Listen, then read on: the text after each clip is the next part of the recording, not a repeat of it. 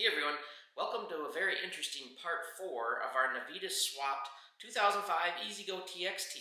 I'm Jeff, welcome to Kart Krazy.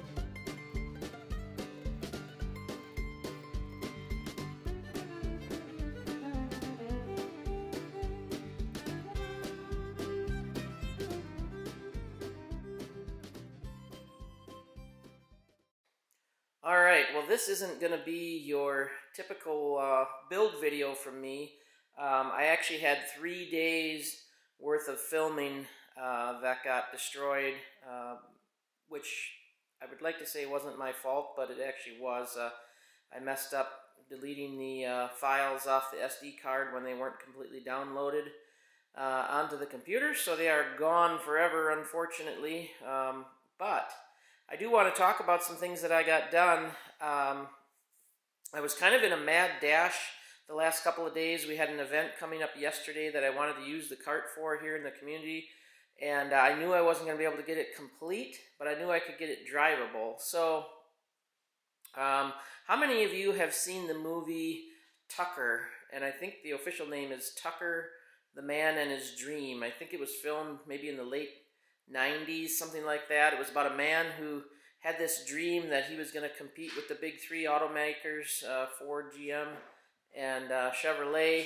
And uh, he bought an old factory or rented it or something. I don't remember all the details, but they were trying to get uh, his car on stage for like an auto show or something. It's been years and years since I've seen this video, so I'm probably uh, messing it up. But they were you know, had oil leaks and they were literally had to push the thing on the stage because it didn't even run at the time. And, you know, it looked glamorous, but underneath was uh, basically zip ties and duct tape if they had such a thing in the 50s.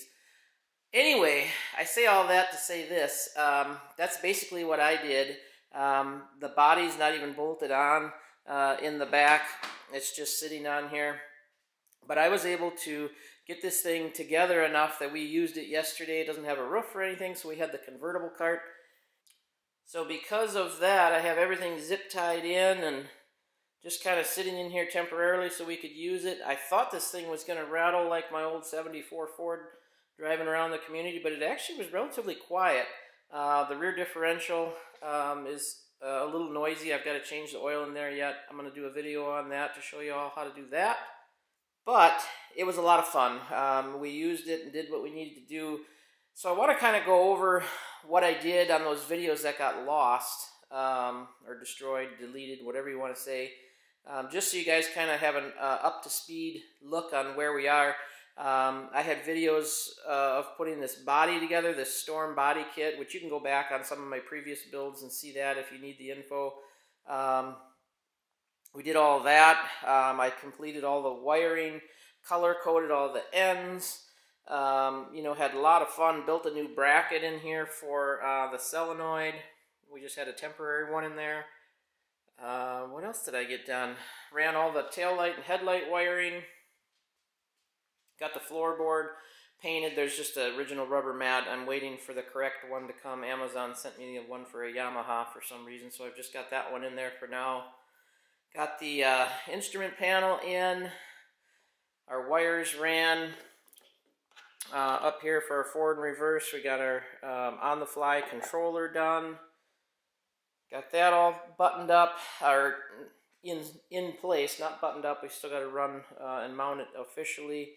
One thing I really wanted you all to see is I replaced these bushings uh, in here because there was so much slop in there. It was wearing the tires out. You can see the original tires that are on it sitting over there and they're all wore out on one side. Um, these were completely shot. So I, I, had some real good footage on how to do all of that, um, which was really cool. Um, this shock cover is just temporarily sitting there. Uh, I replaced the boot. That was all dry rotted.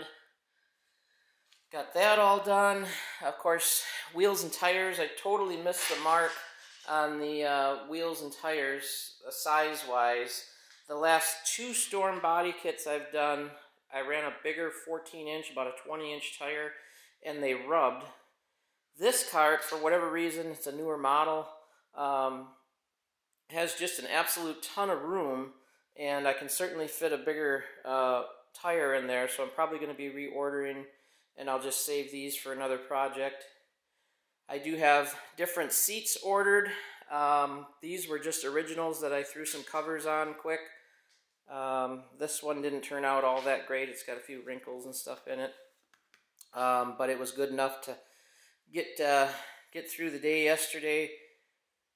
Throwing a lot at you here in a, in a short amount of time, but I'm super disappointed. I was really excited to show you all the footage I had, and um, it's just not going to happen, unfortunately. But here's where we're at with the cart, and what's coming up next is um, I, am ordering a, a, tower top, which I've used before, back seat kit that goes with that, custom seats. Really excited to show you the seats that I've got ordered for these, something I've never done before on any of the builds. Um, so that's going to get put in. Uh, what else did I order? Um, oh, a new steering wheel, which is here. I don't have that on yet. Um, you guys want to go outside, I bet, huh?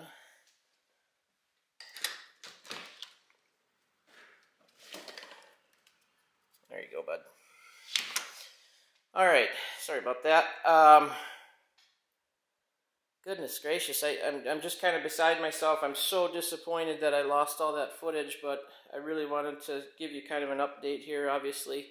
So, we'll get uh, we'll get these next uh, shipment of parts in and um, keep working on this guy.